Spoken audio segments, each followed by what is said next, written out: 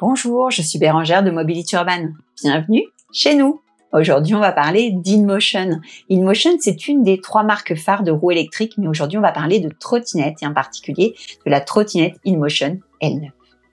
Si vous ne connaissez pas la marque dans ce domaine, c'est parce que leur modèle phare remonte à 2015 avec un modèle L6, suivi bientôt de la Lively en 2016.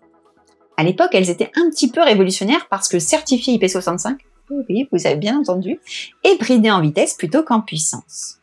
Seulement, à l'époque, ce n'était pas des arguments suffisants pour faire un succès. Mais revenons-en à la N9.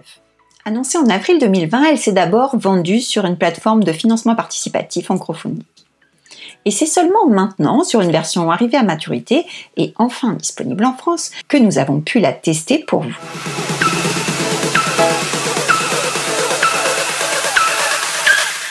Au premier regard, avec sa silhouette un peu épaisse, son air haut sur patte et son large écran, elle inspire immédiatement la robustesse. Et ce n'est pas qu'une impression puisque c'est la première trottinette à être officiellement annoncée par la marque pour un pilote jusqu'à 140 kg.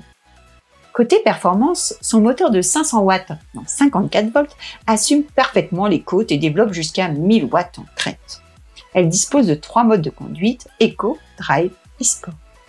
Et c'est clair, dans ce mode sport, la L9 a du répondant. Elle est vive et réactive tout en restant dans la limite des 25 km Côté autonomie, InMotion nous a fait rêver avec des annonces à 120 km, mais dans des conditions normales d'utilisation, on fera plutôt 45, ce qui est déjà un résultat très honorable pour une machine en 675 Wh, soit 54 volts et 12,5 Ah. Une consommation qui est donc bien optimisée. On peut la charger en 7 heures ou en 3h30 si on a choisi d'avoir un deuxième chargeur, parce qu'elle est équipée de deux ports de charge indépendants.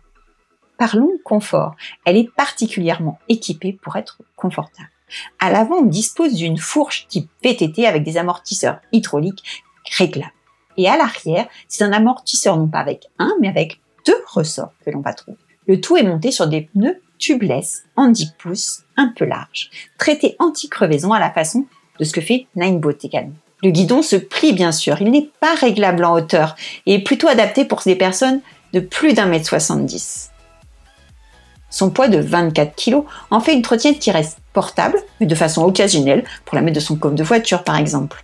Et InMotion L9 vient donc se placer sur la gamme des trottinettes intermédiaires qui offrent confort, puissance, même prix. Vous pouvez la commander bien sûr sur notre site ou passer la voir dans nos boutiques dont les adresses se trouvent sur notre site mobilityurban.fr. J'espère que vous appréciez nos vidéos et si c'est le cas, n'oubliez pas de liker, de partager et de nous laisser un petit mot en commentaire. Ça nous encourage à continuer et nous permet de gagner en visibilité. Allez, je vous dis à bientôt